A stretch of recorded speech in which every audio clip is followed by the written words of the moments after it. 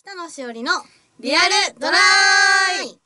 皆さんこんにちは。令和最初放送をお聞きいただきましてありがとうございます。北野しおりです。あのいきなりなんですけれども、はい。あの多分映像配信版ねご覧いただいてる方ちょっとねなんだろうなって思うと思うんですけど 体操みたいだよね。体操着みたい。な確かに私はジャージーみたいな、うん。みくちゃんは体操服みたいな、ねいちごって書いてある。いちごって書いてある。韓国製なんですよこれ。しゅうちゃんもこれ韓国製ね。韓国製です。ね面白いということで、えー、まあいちごではなく佐藤美久です。えー、10連休は皆さんどう過ごされていましたでしょうか？えーこういった仕事をしている成果お正月とか、えーお盆と違って、はいえー節目の、えー行事がないのであまり実感が湧かなかったっていうのが正直な感想です。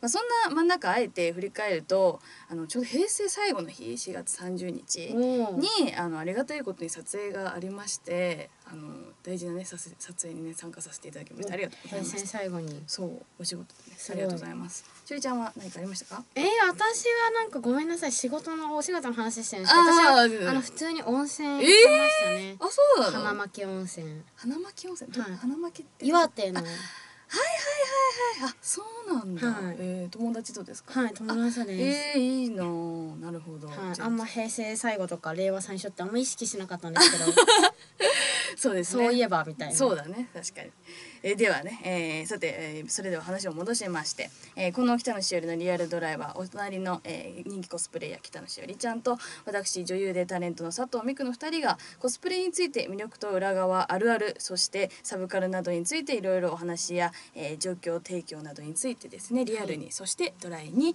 えー進行していく番組です、それでは今回の最初のコーナーはイベントオブマンスリーのコーナー。イエーイえー、どんどんパフパフ。えーこのコーナーは、えー毎月放送の翌月東京や、えー千葉など基本関東圏で開催されている代表的なコスプレイベントなどのご紹介や、えー各イベントの、えー特徴やセールスポイントなどについてリサーチャーさんの独断と偏見を交えてですねご紹介していくコーナーです。えーまずはですね6月15日土曜日そして22日土曜日ですね、えー、ココフリ主催ココフリアジサイ、アットゴ権現堂が、えーこちらが埼玉県の、えー、幸手市内子馬というところ。ます、えー続いてが、えー6月16日日曜日コスプレ博実行委員会主催のコスプレ博 in プラザ平成満開アジサイスペシャル。ここちらが、えー東京都江東区青海、えー東京国際交流館です、えー6月次が6月23日日曜日が JCF 主催の JCF in カナガーデン、うん。こちらが、えー神奈川県平塚市カナガーデンです、えー6月といえば、まあ、梅雨とか、えー梅雨といえばまあ紫陽花ですよね。ということで今回は紫陽花のある、えーイベントを多めにピックアップしました。えー約1万6,000株の紫陽花の、えー咲く権現堂公園うんでのイベントが15 6月15日土曜日とえー22日土曜日に開催されます、えー斜面を覆い尽くすような一面の紫陽花を背景に雰囲気のある写真が撮れそうですえーまた、えー都内のアジサイのイベントは、えー6月16日日曜日に開催される、えーコスプレ博 in プラザ平成に足を運んでみるといいかもしれません、えーこちらは、えー海とアジサイ両方ね撮ることができるロケーションとなっています。ほえーそしてまた、えー9月えー9日日曜日16日日曜日23日日曜日には、えースタジオエコロの、えーシェアイベントがあります普段はなかなか手が届かないリッチな、えースタジオで撮影してみたい方はぜひご参加ください。まあなおその他にもですねえー各地で大小さまざまなイベントも開催予定ですが、まあ、時間の、えー都合で省略させていただきましたことはあしからずご了承ください。また毎回お伝えしておりますがイベントによって事前申し込みが必要であったり人数の条件が設定されているケースもございますので必ずホームページなどのご確認の上ご参加くださいそしてお問い合わせの際には会場ではなくくれぐれも各イベント主催者さんに、えーお問い合わせいただきますようお願いいたしますさてしおりちゃん、はい。前にも聞いたかもしれないんですけれども、はい。えーこういったまあメインの開催場所が屋外とか、うん。自然の中での撮影やイベントに参加する際のワンポイントアドバイスお願いします。いやなんか自然の中なんでやっぱうん。衣装は多少汚れるっていうのを覚悟した方が座ったりとかするとね白いと、うんうんうん。まああと自然の中だと虫除けスプレーしたりとか、はいはいはい、まあ、私この前イベントの時に、うん。あの日焼け止め塗り忘れてて結構日光でしたからやあの焼けちゃっててめちゃくちゃショックでしたあそうはい、しかも変な焼け方衣装だから変な日焼け跡になっちゃうんで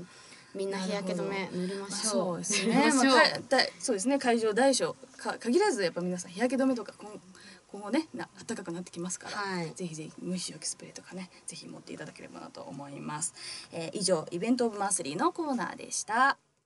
今月の塩ミクランキングのコーナいやイエイ。待ってました。ーすごい今日楽しみだった。はい、えー改めまして現在放送中の北野しおりのリアルドライ担当は、北野しおりと佐藤美久でお送りしております。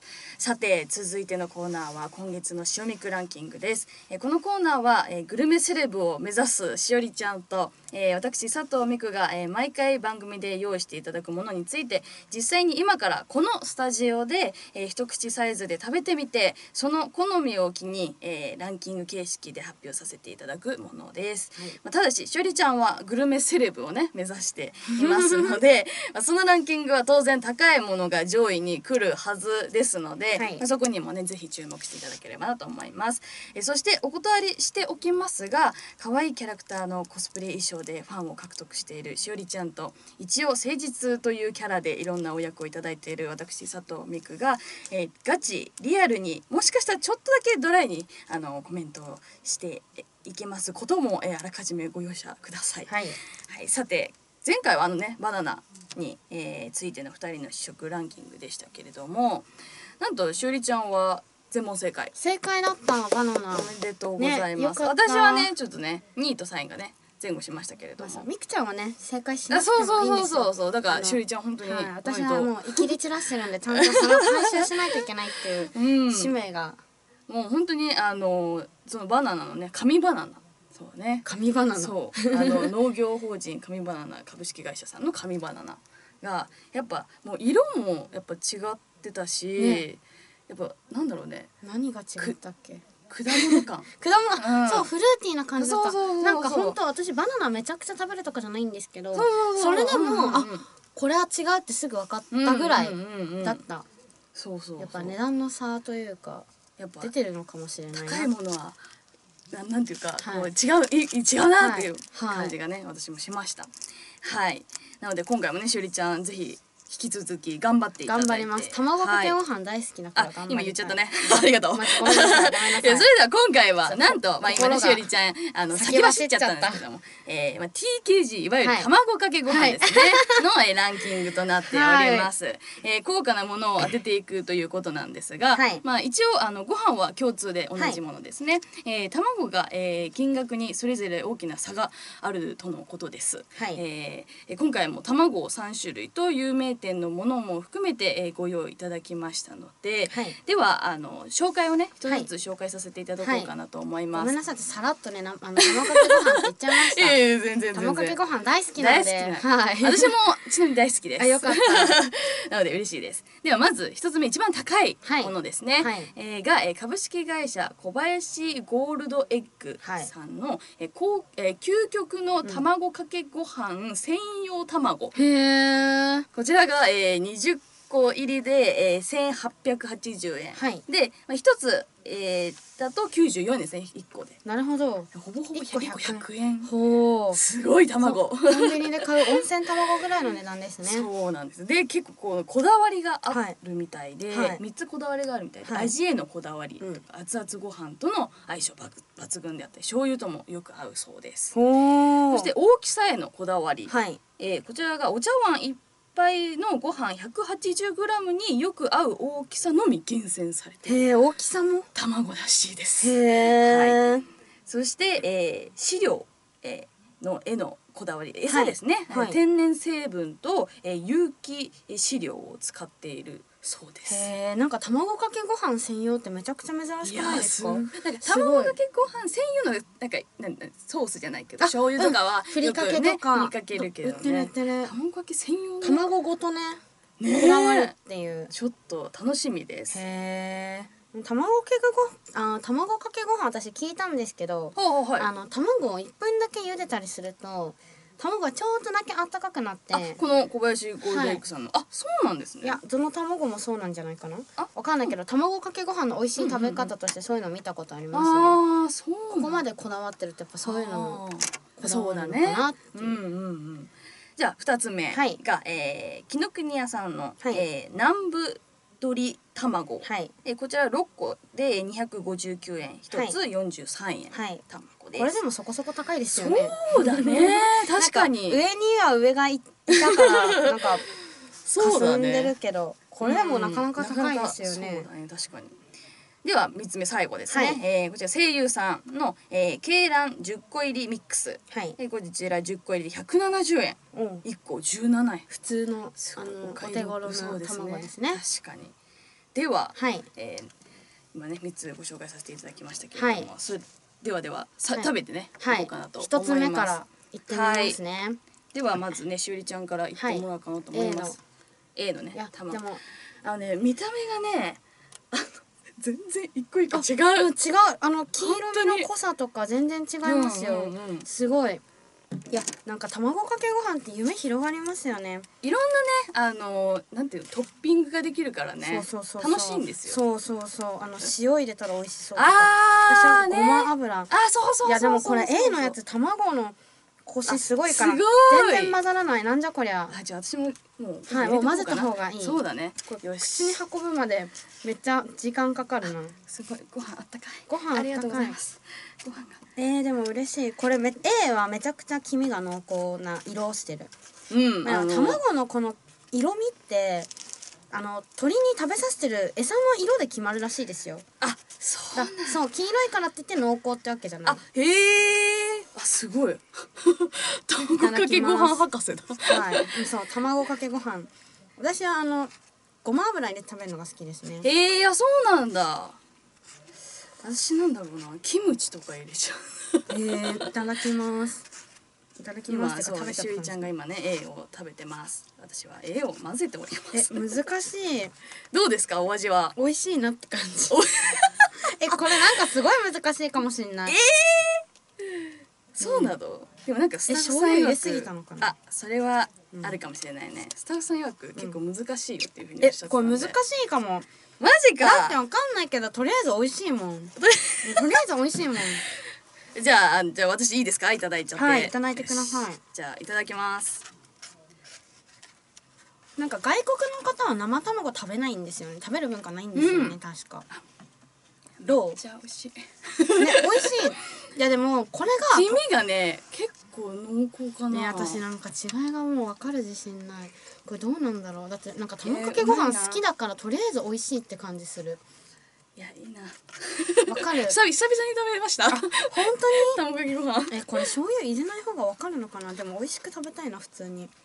で私は2個目を今混ぜあじゃあ B ね。混ぜてる最中です。これ醤油入れすぎかもしれない。ねうん普通に美味しい私基本的に卵多めの人なんですよ。あそうなの私たうんご飯多めかあも、そうなんだ。そうそうそう。人それぞれ。ご飯多め。そうそう。なんか性格とか好み出る。うん。私はご飯多め醤油多めうんうんうんにしてる、あこれ美味しいなえ。普通に美味しいよね。どうしよう。じゃあ私2個目。あじゃあ B ね、はい B のいただきます。えこれ私とりあえず混ぜてる感じ違い分かりません。はいしおりちゃん頑張んないと。あグルメセレブね。でも B の方うんがあっさりしてるかも。あそうなんだ。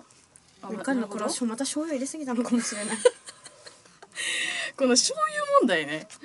美味しいでも。オッケーオッケー。美味しいです。卵かけご飯ってやっぱ正義。なんかパッと作れるから本当に楽なんですよね。でもなんかこっちの方が A に比べてもなんか白身のキレがいいあの白身があんまり。確かに確かに。白白身全然違うかもしれない。ってなんないかも。じゃあ私いいですか？どうぞ。いただいちゃっ B いてただいてください。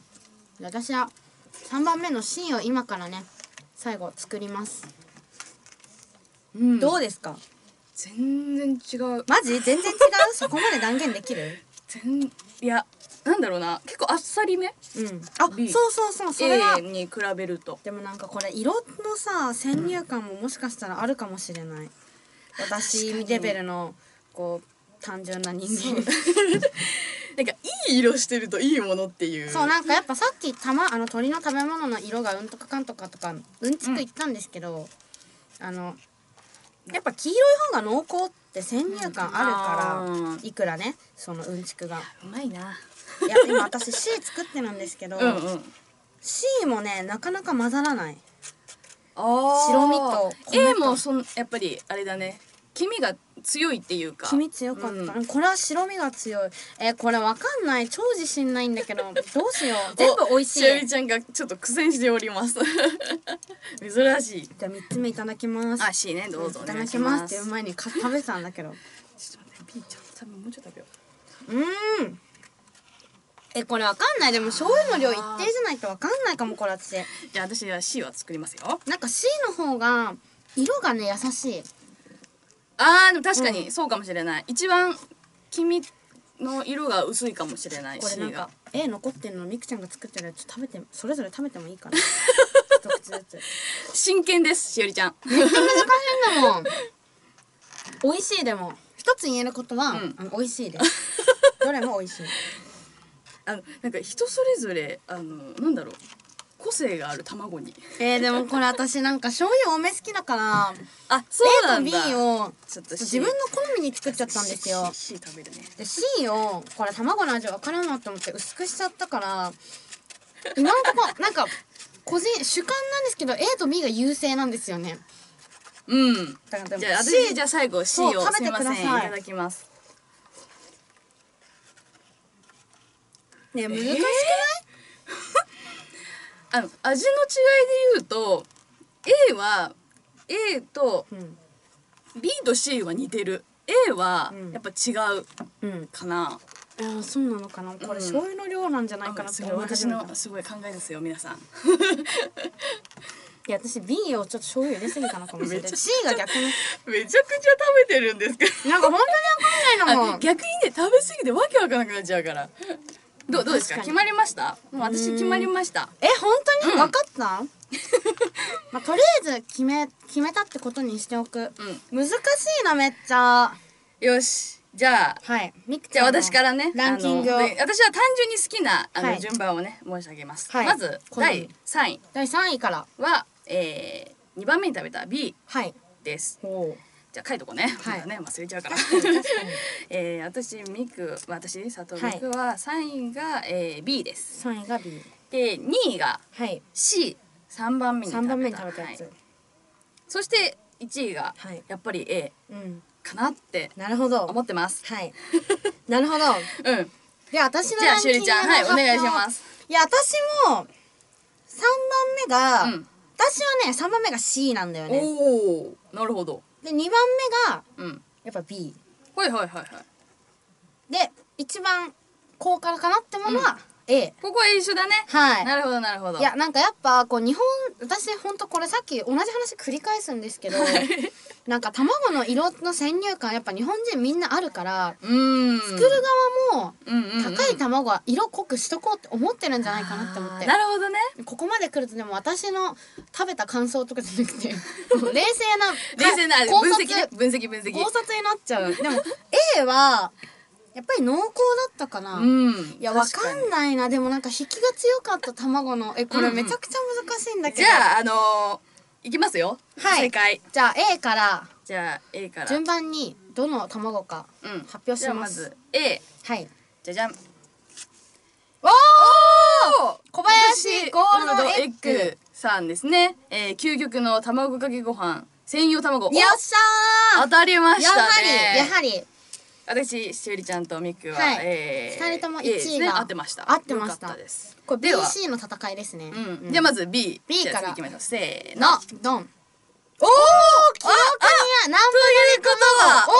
お私すごい。し C はおりちゃん。声優の卵さん。あそう声優の逆だ。ケイラ声優さんのケイラの、卵えー、10個入りミックスですね、とい。うことということははしゅりちゃんおめでとうございやます。ったー。素晴らしい。めっちゃ嬉しい。大正わか解んないわかんないとかしたけどやっぱこういう時地頭の良さがねすごいなんか評価につながるということですよ。めちゃくちゃ食べたという、はい。めちゃくちゃ食べたみくちゃんが。あ私やっぱまた逆ですね。また逆だった。逆だったね。そう前回のバナナの時もこうそう2そう。だ3位ねが逆だった。そうそう。やっぱでもやっぱりね色がいやすそれ。ごいあの小林ゴールドエッグさんそれ。やっぱ究極を極めてらっしゃるなとはいいうのが赤いよねでなんかね C がやっぱ一番ね柔らかい色だったからあー。うんうんうんうんあうん。の卵焼きみたいな色だったから。あー。私これまあ最初醤油全然入れてないのかなと思ってた。色が違いすぎてであの実はですね、はい。この、まあ、1位こはい。の一番高いはい。小林ゴールドエッグさんはい。の究極の卵かけご飯。これ買うとですねあ結構楽天とかでも1位になるぐらいの、へえみんな楽みたい天で通そうなんですよ販サイトで卵買うんだ。そうなんですよ。で買うとはい。こういうこう、えーパンフレットもね、はい。あの映像配信版はい、だとわそうです。ね映かるんですけど。像配信版ぜひご覧いただいてはい。こういうあのいろいろパンフレットも入ってますのでへぜえひももし TKG 卵かけご飯はい好きっていう方はいいらっしゃいましたら、ぜひぜひあの皆さん買ってみてはいかがでしょはいでも普通に美味しかったねう。うん。ではですね。でということで、しゅうりちゃん、はいおめでとうございます。ありがとうございますはい。では以上今月の塩ミクランキングのコーナーでした。ニコニコ超会議2019リポートのコーナー。イエーイ初めてのタイトルコールあーそうそうだ、ね、初めて聞いたタイトルですね。あ そうだね。ね、えーそして、えーさて、えーここで先月の、えーイベントオブマンスリーのコーナーで、えー予告させていただきました通り、えー4月27日28日と千葉県幕張メッセで開催されましたニコニコ超会議2019に、えーしおりちゃんがコスプレイヤーとして参加するということでしたので、えー私佐藤美久、えー見学というかプレスとしてねあの取材をの立場で行かせていただきました。えもちろん当日は、えープレスなんで、はい。あの 受付でお借りしたプレスって書いてあるね、はい。腕章おを巻いてですねもうほぼオールエリアフリーでいろいろあの見させていただきました。あのもちろんあのしおりちゃんの晴れ姿もね初めてあの拝見させていただきました。さてではしおりちゃんのはい。当日のね動きであったり、まあ私の動きもちょっとそうですね。並行してはいそうね。誰がいつどの時間何をしていたのか。ね。ではまずはいしゅうちゃんは何何時起床ですか？いや私あの3時起きですね。え？はい午前よ牛三つ時に起きました。おはようございます。本はい。あみくちゃんその反応からすると。寝てる。すいません寝てました。あなるほど。まあ公共の交通費が動いてないですからね。わかるわかる。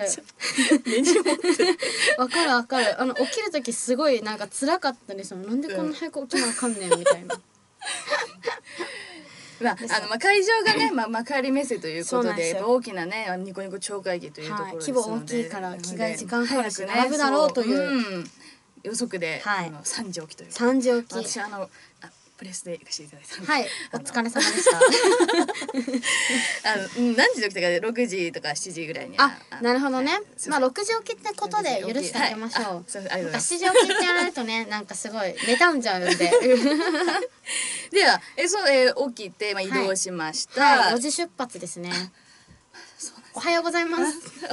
おはようございます。あの日の出見ました。あすごい、はい。首都高から日の出見ましたね。なるほど。うん。そうなんね。おはようございます。で、えー、出発して。はい。で私はもうあ出発したのは何時かな。でもあの幕張メッセの駅に着いた時は、えー、8時ちょい過ぎぐらいですあかーはいはいはいはいしゅうちゃんは？あ何？時5時半に着きました めちゃくちゃ早い。コンビニとか寄った3り時間ぐらい違う、はい。あそうそうだね。あのご飯ね給食とかねちょっと買ったりする。なんかマスク買ったりとうんかいろいろして。その後はう受付かなんかしますか？受付しましたよ。ああのまず入場の受付？はいはいチケット、なんかあの先行入場優先入場券みたいなの買ってあったので、うん。それ使ってでもその時間に来たっていうね。そうダブル使い。わおすごい。はい。でその後はどどういう流れになるんですか？その後まあやっぱう並ん入場し会場入場して、うん。コスプレの更衣室になの受付に並んで、はい。受付二回目ですね。をそうそううん。し受付をし、うん。着替えはいはい。着替えメイク。して。でその後にまたさらに会場受付。はあ。じゃあ三回はい。受付を経て。なるほど、はい。でイベント参加しましたまあ、私の場合はあのこうプレスのこの、はい。まあえーこう並ぶ列があるんですけどはい。も、一回です。あスッと終わりました。たスッと終わって。なんか私すごい優先入場券買ったのに全然 私より手順まさか踏んでない。三つも受付してるとはました。の門くぐって来ましたよ。イベント参いや加しました。本当にすごい列でね、私はい。もびっくりしました。うんすごかった、うんでイベントを参加ね、はい。えーしていくんですよね。はい。参加です。着替えて。イベント参加です。着替え終わりなるほど。はい。で私の場合はまあ受付9時にあって、はい。えーすぐ終わりましてで10時開,、えー、開演？開場？開場するのかな、うん。開くの方。えーあそうそうそう。で、まあ、各ブース、はい。それその1時間、うん、そうぐらい、はい。9時10時までになるまで、はい。各ブースたっぷり時間かけて、はい。あの見学させていただいて。プレスですからね。そうなんですよ、あのであのこういろいろブースがあって、はい。で今日一日頑張るぞっていうスタッフさんのあのはい。掛け声、あはいはい。みたいなのが、あのここ結構飛び交ってて すごいな。これこれなすごいもう本当に伝わりました熱が。はいで、えーまあ、そろそろし10時開会場して、まあ、はいそろそろしゅうちゃん出てくるかなと思って、まあ、はい。11時ねあのコスプレ会場へはいはい。着替えに時間かかるのね。毎月うん。コーナーでやってるからみくちゃんは理解してくれて。てそう、はい。すごくあの勉強になりました。あ。いやあなるほどって実感すごくできました。10時に入っても私には会えないと。そう。えまえしゅうちゃんまだ並んでそう全然まだ全然まだ。大変だと思いながら。はい。はい。で、そうですね。えっ、と。私もおそらくこういうね、しゅりちゃん今メイクしてんだろうなとか、はい。考えながらね。あ私に思いを馳せてたと。その頃私はね、あの更衣室出た瞬間に、うん。衣装の下駄が壊れて はいどうしようかなって。えーそあ、そうだったね。はい、とりあえず履ければいいかあなみたいな、うんうんうんうんあのガムテープとかで直しましたけど。うん。なるほど。コスプレ姿でみくちゃんに会ったの、そう、最初初めて。初めて、うん。ツイッターとかあのはあの見見させてもらってたけど。写真で。そうそうそうそうそう。だからなんかうわすすごいしあれあれしゅうちゃんって思ってあのめちゃくちゃね可愛いあれあのキャラはなんていうキャラなんですか？フェイトの玉物前っていうキャラクターです。あキツネキツネあそう耳と尻尾ね。ターです、はいはい生えてる、うんそう生えてる。そうめちゃくちゃ可愛くて。尻尾がめちゃくちゃ可愛かあった。ねえ可愛いあれあとはもう普段と違うメイクそう顔も濃いしかコンタクトの色もいかうんれいピン色クでね。変わった色鮮やかなピンクでびっくりしましたコンタクトみ黄色ですあね黄色か、うん。あそっかそっか。ねあのということで本当にしおりちゃんののコスプレ姿ね。初めて。はい。初めて見てもらってよかったです。ありがとうございました、うん。でまたねあ機会があれば、はいぜひ私も続きはね行かせていただければなと思います。で、えっと取材させていただいた、えー動画はですね、えーはい、映像配信版の方にですねあのアップしていただく予定でありますのでぜひ皆さんご覧いただければなと思います。はい以上ニコニコ超会議2019リポートのコーナーでした。皆さんなんともうエンディングのお時間です。今回の北野周のリアルドライ皆様いかがだったでしょうか、うん、なんか卵かけご飯とあか美味しかったねニコニコ超会議とかいろいろ盛りだくさんでしたね、はい。うんでは、えーまた次回みお耳にかかりましょう、い。皆様のお相手は？北野しおりと佐藤美久でした。ではまたお耳にかかりましょう。今回も皆さんありがとうございました